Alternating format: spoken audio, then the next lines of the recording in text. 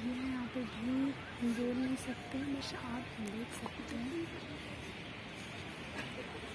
यहाँ पे Indian air force Indian navy Indian Indian army तीनों हमारे शनार हैं और उन्हें ऑनर दिए जा रहे हैं। ये इवनिंग का टाइम है। बस इस चीज़ को हम महसूस कर सकते हैं, शब्दों में बयान नहीं कर सकते।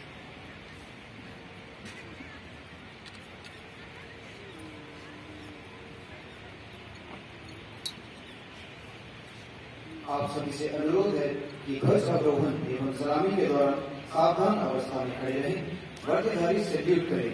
यह राष्ट्रीय ध्वज के लिए आपका सम्मान है।